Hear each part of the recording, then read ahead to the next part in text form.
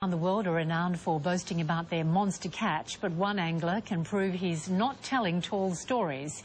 Jeremy Wade has video of his giant piranha-like fish, complete with teeth the size of a great white shark. Now, those teeth!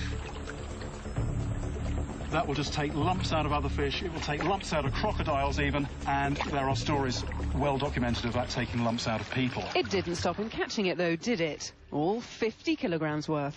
What a freshwater monster this thing is. The Goliath tigerfish is no beauty, but it eats people, so you wouldn't want to mess with it, and it's basically a giant piranha. Jeremy Wade spent 25 years trying to land one of these beasts. Fish! Look at that! And it was tough. The fish nearly swam off with him down the River Congo. I would have settled for something half the size of this.